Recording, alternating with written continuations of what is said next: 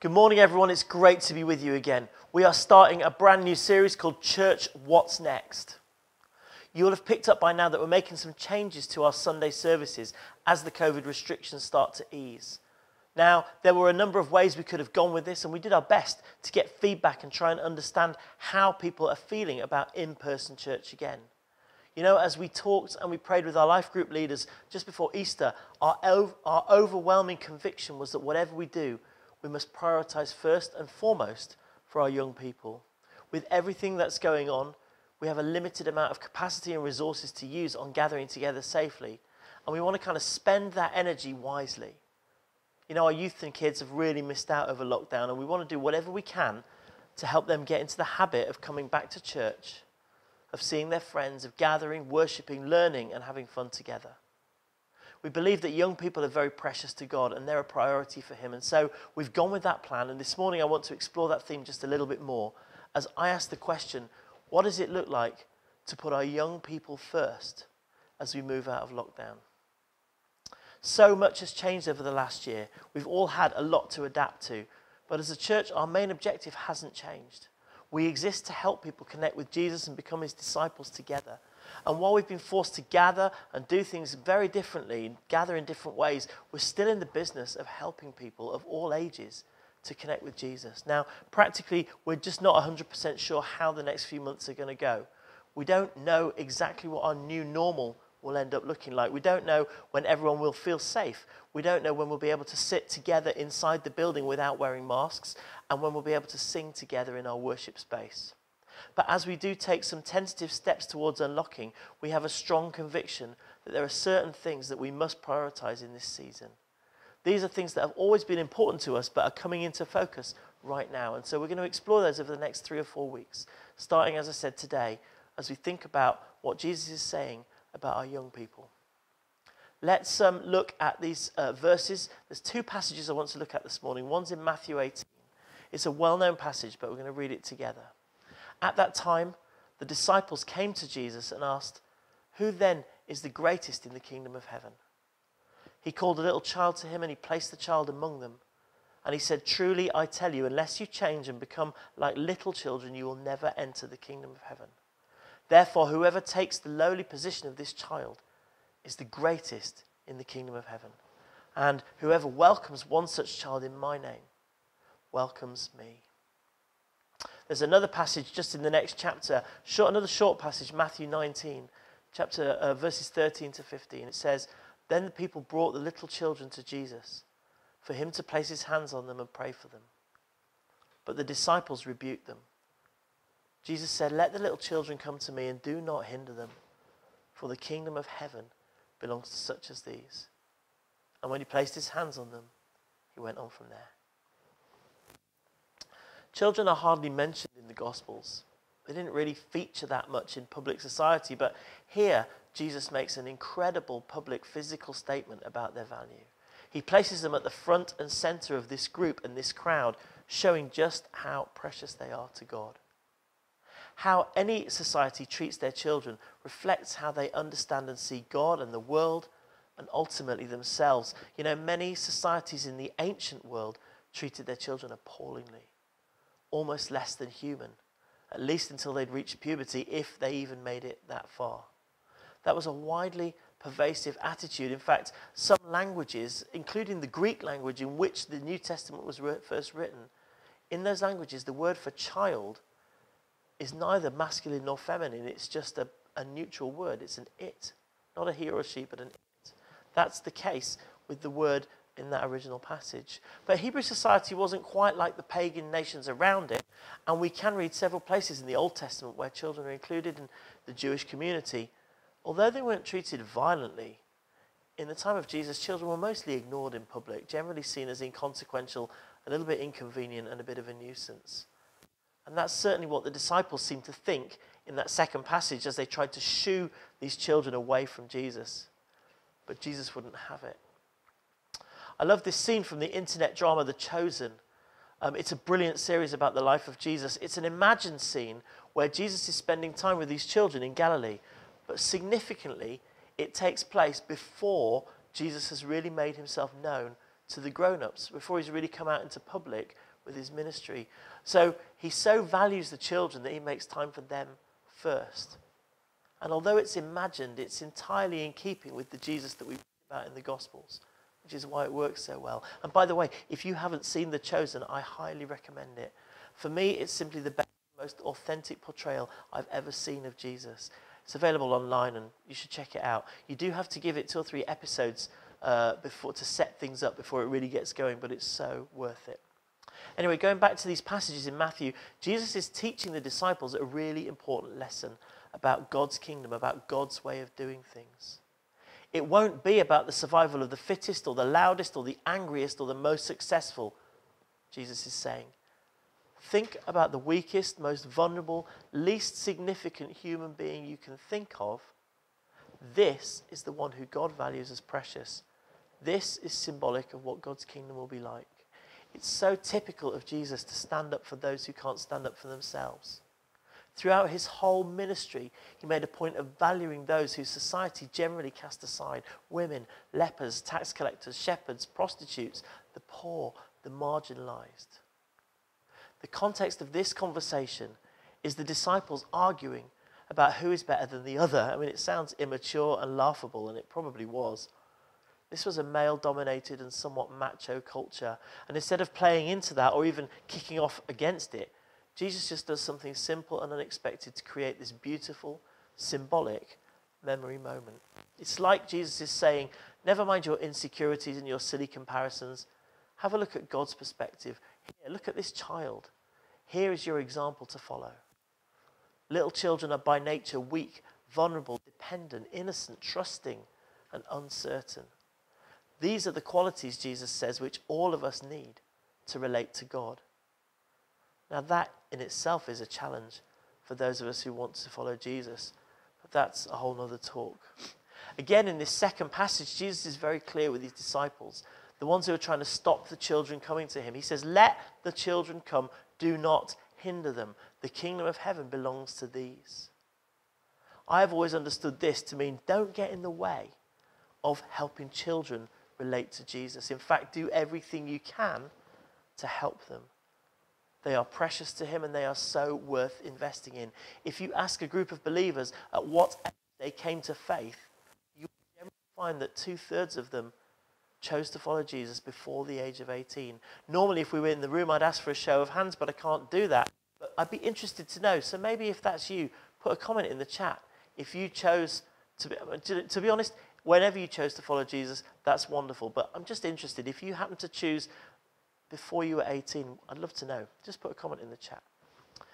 Even if you think purely in terms of cold hard evangelism, then the facts suggest that investing in young people is really important. But our vision goes so much further and deeper than that. These are God's precious people who He loves and values and has so much time for. This is something that Joe and I very much took to heart in our previous life before we moved to Winchester 10 years ago. As a newly married couple back in 1995, we were challenged to spend at least the next five years of our lives investing in young people. And so we did. Not only did I work as a primary school teacher, but together in our spare time, we took over leading the children's ministry in our church. We actually spent the next 14 years in that role, training and managing volunteer teams, creating teaching plans and material, organising holiday clubs and youth residentials, writing and producing children's worship songs. We had the privilege of seeing a whole generation of children grow up through our church and knowing them. And now it's amazing through the power of social media, we get to see some of the amazing things they're doing as grown ups as they follow Jesus with a living and vibrant faith. Now, during all those years, as you can imagine, we had some great times and we had some tough times too we were meeting in rented spaces for about 12 years where we had to clear the furniture, clean the floors, set out the equipment every Sunday morning, pack it away at the end every week. Some seasons we hardly had any team and we didn't make it into a church service for weeks. Sometimes we were exhausted, we were running out of ideas and lacking motivation to go on. But we just knew ultimately that God had called us to this and that these young people were very precious to Him and that we had an important job to do. We considered it our role to make sure that they knew that they were special and they were loved by God and they could meet with Him anytime. And it was so worth the investment. The last year of COVID has been a really tough time for all of us, hasn't it? But I think it's been particularly tough for our children. Educationally, it's been disruptive, but socially, it's been really tricky. Here's a quote from a recent report on young people's mental health. It said this Many children and young people have likely experienced loneliness during lockdown, and in particular, have been affected by a lack of physical contact with their friends, families, and peers, and the boredom and frustration associated with the loss of all the activities they've been used to taking part in. Our children have missed seeing their wider family and their friends at school and their clubs and activities and at the church. And so, as soon as we can, here at Winchester Vineyard, we want to do something about that. What we really want to do is run our Sunday children's groups again, but right now there are two key obstacles to overcome. One is the social distancing rules, and the other is the team. One we have to wait for, the other we can do something about on social distancing, the current rules severely restrict the kind of interaction which children can have if they gather in a room, such that if we're not careful, we feel that our teams will probably just be policing them the whole time and telling them off for getting too close. And we just don't think that will make for much fun for anybody, really. And we can't do much about those rules right now, but we are sure that they will relax at some point in the next few months. So, one of our key aims is to be ready to start our young people's groups again when it becomes viable. We don't know if that will be this side of the summer or later in the autumn, but we do really want to be prepared, well prepared to welcome our young people back to church when we can. And to do that, we're going to need a team. And right now, we just don't have one. We're going to need a whole bunch of people to get involved. Now, you might have been on a kids' team before, and maybe you're ready to jump back in. Brilliant. We'd love to hear from you. You might have never been on a kids' team. You might not feel you've got any particular skills in this area, but you would be surprised. We need all kinds of people. You don't have to be a qualified teacher or even a parent. We just need those who can chat to children, who can facilitate games, who can help with activities, who can quietly get on with practical preparation. You don't have to be extrovert or outgoing. You just have to love Jesus and care about his kids and be prepared to get stuck in. Stephen and Louise have done an absolutely amazing job over the last year, sourcing, creating, and uploading content for children and families to engage with worship, stories, activities, car park church. They've had some great support from some of the existing team members, but this is a new season and it's going to need a new energy and it's going to need a bigger capacity, and we're going to need more people. So, if you're part of this church, I want to invite you seriously and prayerfully to consider if the Lord might be asking you to get more involved with helping our young people come back to church. If the answer is yes, then please be in touch with us. Contact Stephen and Louise or send an email to the office and we'll forward your details. Now, we know that our teenagers have also struggled in this time. That ironically, although they are supposed to be the digital generation, they've had a hard time engaging with church activities online and have really missed hanging out and worshipping and just being together in person. Now, we've got some great youth life groups going on Zoom, but we were so delighted the other week when they could gather in the car park around some fire pits. And we're excited that they're going to continue to do that regularly on Friday nights, hopefully, in the next season. In fact, we're in the process of constructing a shelter to make it easier. Here's a little picture of it under construction. Uh, that's going to be our, youth, our new outdoor youth space uh, for gathering uh, in COVID free, secure times. Um, and again, we would love you to consider getting involved with our young people. They need encouragers, they need role models, they need supporters outside of their own family.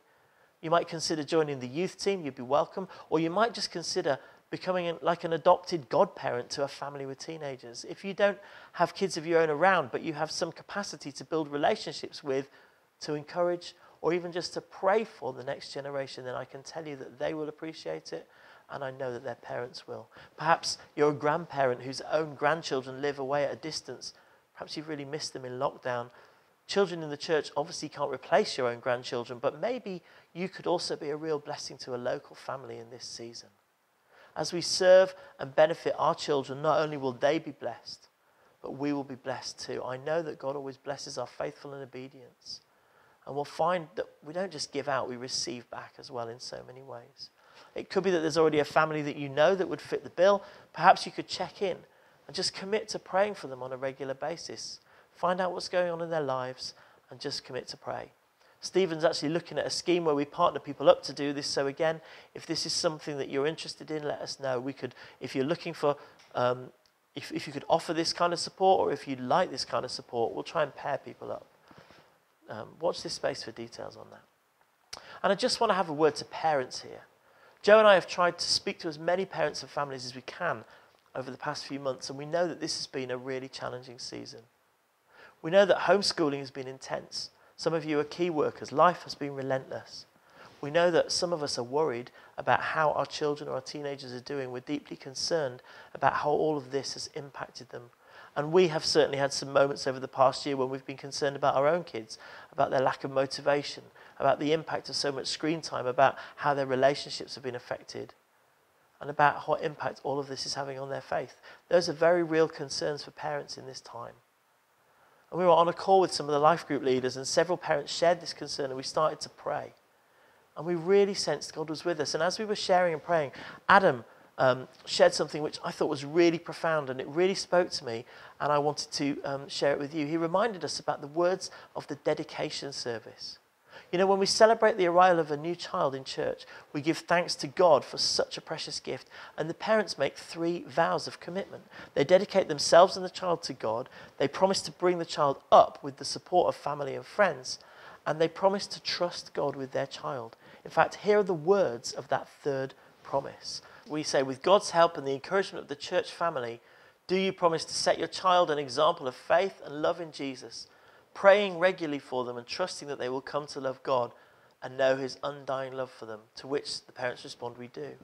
So, those of us who are parents and have found ourselves anxious about our children in this season, I want to remind us that we have already committed to set them an example by our own faith and love in Jesus, and we can still do that authentically. Despite these challenges, we can commit to pray for them regularly as we did. We can still do that, and we committed to trust that our children would come to know Jesus and his undying love for them in the course of their lives. And that's the commitment we make as parents, and it still holds true. Nothing has changed. We can trust God with our kids. We have to. Even in COVID times, none of this was a surprise to him. He has a plan which he is working out.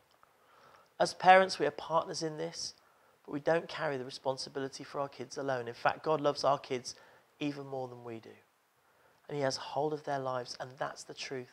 In COVID or not, that's something we can hold on to. He's faithful, and we can trust Him. And so, if you're a parent who struggled with this in the past year, I want to encourage you to keep bringing your kids back to God in prayer. He's well big enough, and He's so with them, and He's with you as well. And I want to remind all of us about one more bit of that dedication service because after the parents have made their vows, the gathered congregation also makes a vow in the form of a prayer to support and encourage the child and their family as they grow. Here are the words we say. We say this together usually. We say, Father God, help us to draw this child into relationship with you by our example and our love. Please help us as we support and encourage them and their family. We ask you to bless them through their whole lives. Now, the Old Testament uses two different words for family. The first one, translated family, is the word bayith which is what we would think of as the immediate family under one roof, where parents are instructed to teach their children the commands of God and to celebrate the stories of what He has done. But the most common word for family in the Old Testament isn't bayith, but mishpachah, which is much more associated with the wider sense of clan, of people bonded together with the common cause, of what we might call community. Now, this would have started with an extended family. A child would grow up, would add on to their parents' house, and add more and more generations. But over time, um, the community would multiply and grow and become a whole tribe.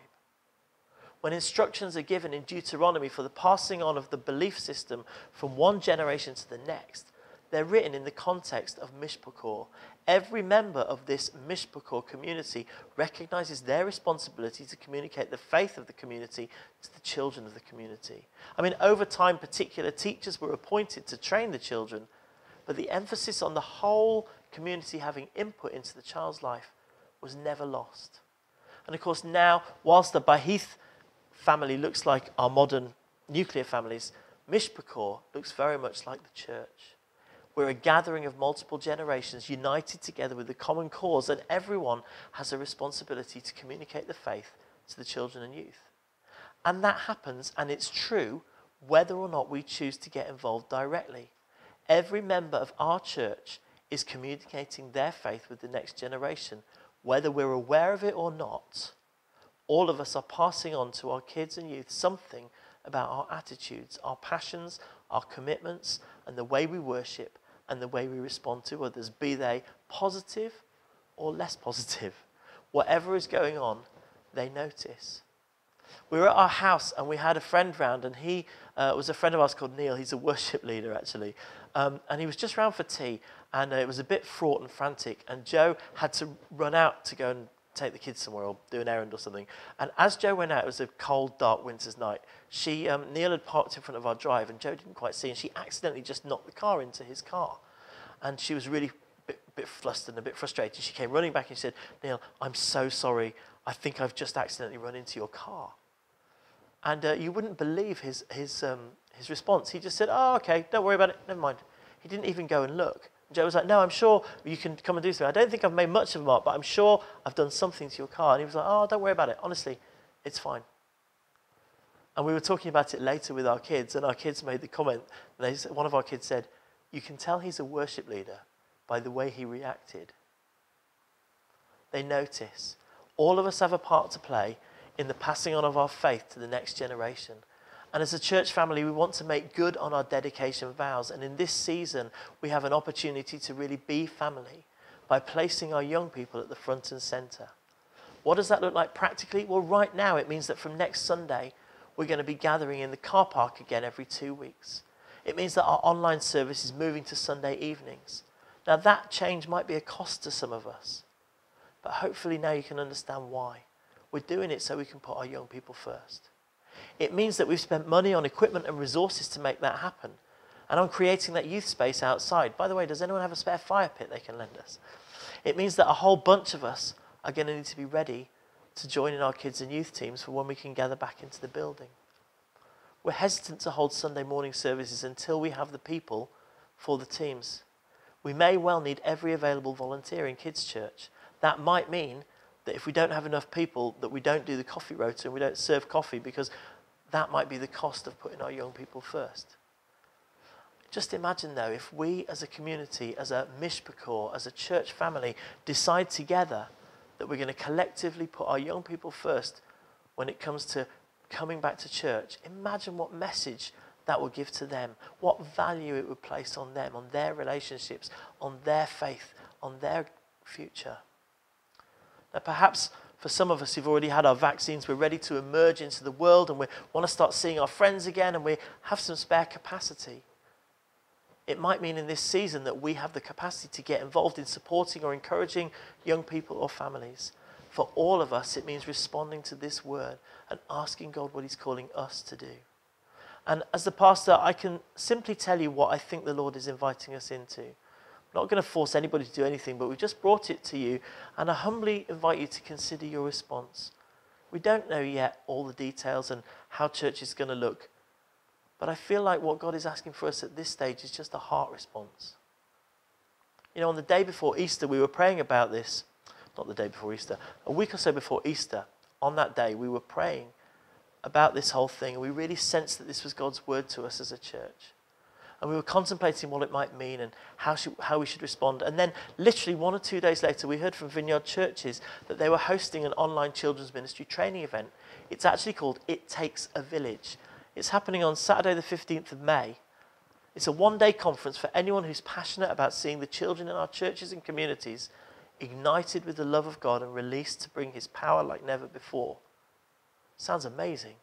There are sessions and seminars for children's leaders in the daytime, and then in the evening, there's a celebration that's open to anyone pastors, parents, kids, leaders, grandparents, anyone who longs to leave a lasting legacy in the next generation.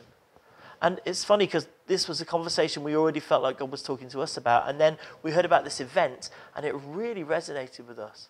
Maybe it resonates with you as well, and if not, why not save that date, 15th of May, and book in via the Vineyard Church's website or look out for details that we'll put out just want to finish with some words from Psalm 78. In verse 4, it says this We will tell the next generation the praiseworthy deeds of the Lord, his power, and the wonders he has done. It's all about passing our faith on to the next generation. Um, it goes on in verse 5 He decreed statutes for Jacob and established the law in Israel, which he commanded our ancestors to tell their children, so the next generation would know them, and even the children yet to be born and they in turn would tell their children, then they would put their trust in God and would not forget his deeds and would keep his commands. It's up to us to tell our kids to pass on our faith to the next generation. That's part of what the Bible's talking about. And so I'd just love us to finish this morning um, by praying together that dedication prayer. And the words are here on the screen. And perhaps you can say this with me as we uh, just pray together. Obviously, when we normally do this in a dedication, we say it over one particular child. If you've got children in your family, or just the children that you know about in the church, or just children that you um, are aware of, collectively, why don't we say this prayer together over our next generation as we then listen to God and try and figure out what He wants us to do specifically and how we practically respond. Let's pray. Father God, help us to draw our children and young people into relationship with you by our example and our love. Please help us as we support and encourage them and their families. We ask you to bless them today throughout their whole lives. In Jesus' name, Amen. Thanks, everyone. It's great to see you. Bless you.